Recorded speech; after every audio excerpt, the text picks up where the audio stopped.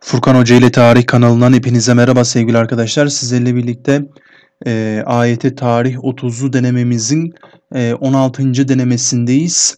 E, denememizi satın almak isteyenler için e, açıklama kısmına linki ek, ekledim arkadaşlar. Oradan e, satın alabilirsiniz. Ne yapalım hemen hiç vakit kaybetmeden ilk sorumuzda başlayalım bakalım neyi sormuşuz. İlk sorumuzda aşağıdakilerden hangisi Mezopotamya uygarlıkları içerisinde yer almaz? Diye sorduk. E, kolay bir soru ama yine de ne olur ne olmaz e, bazı öğrencilerimiz, e, gençlerimiz karıştırıyor. Bunları bilmekte fayda vardır. E, Sümerler Mezopotamya'da, Akatlar Mezopotamya'da, Babiller Mezopotamya'da, Asurlar Mezopotamya'da ve buna ilave olarak Elamlar sevgili gençler Mezopotamya uygarlıkları içerisinde yer alıyor. Lidyalar ise Anadolu uygarlıkları içerisinde yer almaktadır. Anadolu uygarlıklarını sayarsak kimler vardı?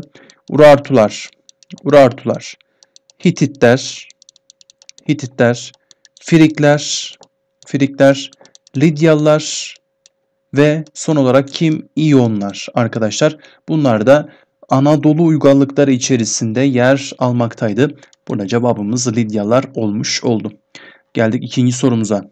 Aşağıdakilerden hangisi Asya Hun Devleti'nin özelliklerinden birisi değildir? diye sormuşuz.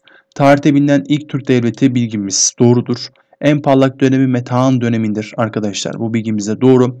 Onluk sistemiyle ilk düzenli Türk ordusunu kurmuştur. Doğru. İpek yoluna hakim olmak için Çin ile mücadele yapıyor. Doğru. Avallara bağlı Töleslerin ayaklanmasını bastırmış mı? Hayır. Arkadaşlar böyle bir bilgi yoktur. Ee, Asyon Devleti ile alakalı o yüzden cevabımız ne olmuştur? Ne olacaktır? E şıkkı olmuş olacaktır. Geldik üçüncü sorumuza. 750-1250 tarihleri arasında hüküm süren Abbasi Devleti'nin özellikleri arasında gelişmelerinden hangileri yer almaktadır diye sorduk. Ee, Türkler devlet yönetiminin üst kademelerinde görev almışlar mı? Evet. Ee, sevgili arkadaşlar almışlardır Abbasi Devleti'nde. Arap milliyetçiliği yapmamıştır Abbasi Devleti. Kim gibi? Ee, Emevi devleti gibi yapmamıştır. Buna ne diyorduk biz? Mevali politikası diyorduk. Mevali politikası Arap milliyetçiliği e, idi. E, ama Abbasiler mevali politikası yerine hangi uygulamayı ne yaptılar arkadaşlar? Koydular.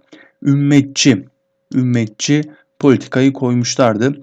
E, burada e, bu cevabımız doğru mu? Evet doğru. Arap milliyetçiliği yapmamışlardır.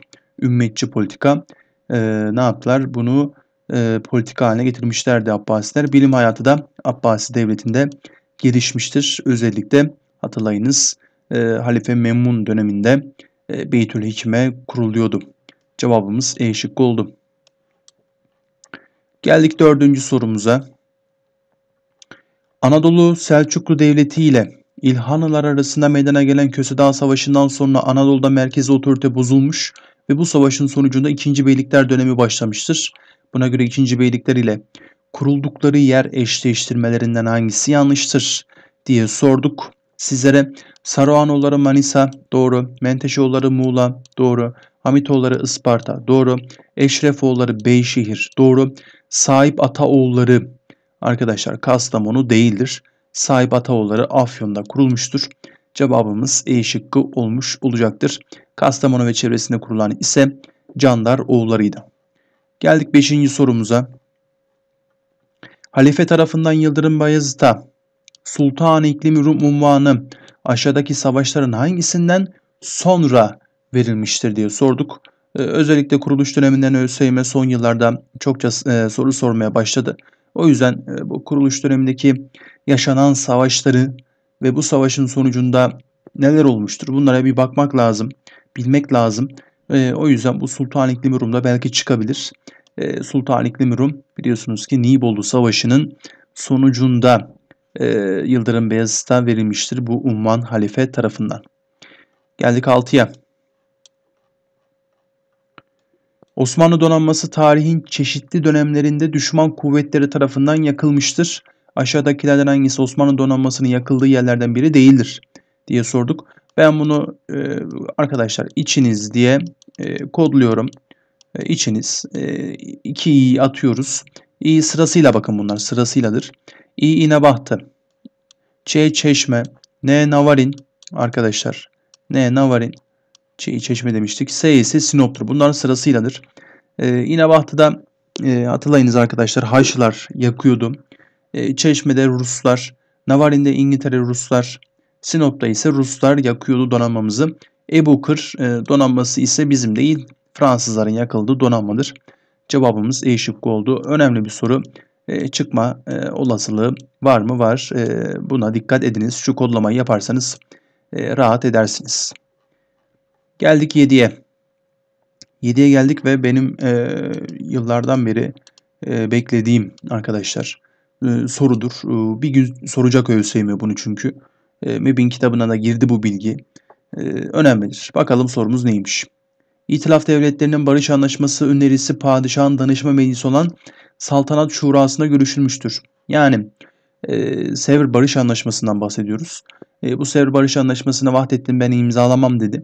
E, saltanat şurası arkadaşlar üyeleri e, imzalamak istediler ama bu saltanat şurası üyesi olup da barış önerisine hayır diyen tek devlet adamını sorduk sizlere. Bakın önemlidir. Bu bilgi önemlidir arkadaşlar. E, bu şurada yer alıp da hayır ben bunu imzalamam diyen kişi e, arkadaşlar kimdir? Topçu Feriki Rıza Paşa'dır. Bakın dikkat arkadaşlar. Topçu Feriki Rıza Paşa bizim için çok çok önemli bir isimdir. E, bir gün bu soru çıkacak arkadaşlar. Dikkat. Geldik 8'e. 15 Temmuz 1921 tarihinde toplanacak Marif Kongresi'ne Mustafa Kemal, kongreyi ertelemeyi öneren Marif Vekili Hamdullah Supi Bey'e Hayır, hayır ertelemeyin. Cahillikle, ilkellikle savaş, düşmanla savaştan daha az önemli değildir demiştir. Milli mücadele döneminde aşağıdaki savaşlardan hangisinin devam ettiği sırada Marif Kongresi düzenlenmiştir diye sorduk sorumuzu.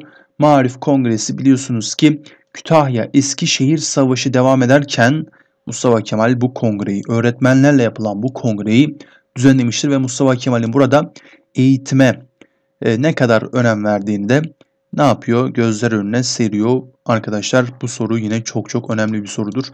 E, böyle bir soru gelecektir mutlaka. ÖSYM soracaktır bu soruyu. Geldik 9. sorumuza. Mustafa Kemal Atatürk döneminin son başbakanı aşağıdaki devlet adamlarından hangisidir diye sorduk. Ee, değerli arkadaşlar Mustafa Kemal'in e, Mustafa Kemal Atatürk döneminin 3 tane zaten başbakanı vardır. Ee, Atatürk döneminin ilk başbakanı kimdir? İsmet İnönü'dür. İsmet İnönü. İkinci e, başbakanı kimdir? Arkadaşlar ikinci başkanı Ali Fethi Okyar'dır. Ali Fethi Okyar. Daha sonra Ali Fethi Okyar döneminde bakın İsmet İnönü bir rahatsızlığından dolayı istifa ediyor. Yerine Ali Fethi Okyar geliyor.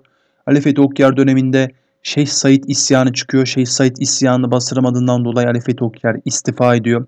Yerine tekrar İsmet İnönü geliyor. Yani Atatürk döneminde İsmet İnönü iki kez çıkmıştır arkadaşlar. Unutmayınız iki kez başbakanlık yapmıştır.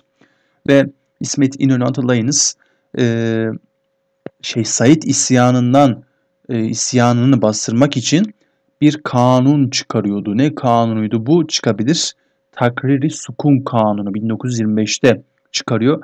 1929'a kadar da bu e, kanun yürürlükte kalacaktır.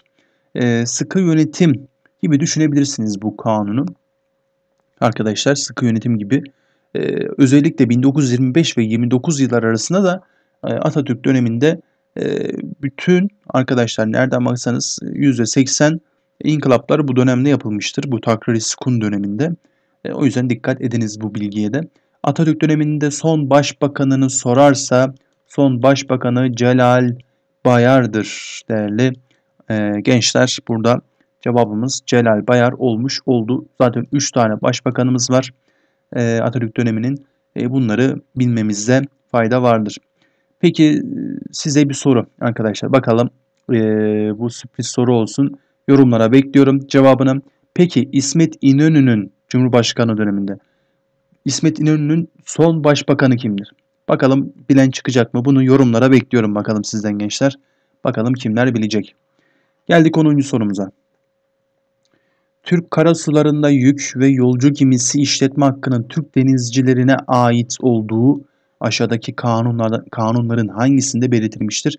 1926 yılında çıkarılan e, arkadaşlar e, hangi kanundur? Kabotaj kanunu ile birlikte Türk karasularında yük ve yolcu taşıma gemisi, e, yolcu gemisi işletme hakkı e, Türk denizcilerine ait olduğu Kabotaj kanunuyla 1926'da kabul edilmiştir. Evet bu sorumuza birlikte sizlerle beraber yine e, birbirinden değerli, birbirinden güzel sorularımızı çözmüş olduk. 16. denememizde bitirmiş olduk. E, kendinize çok çok iyi bakın. Allah'a emanet olun. Hoşçakalın.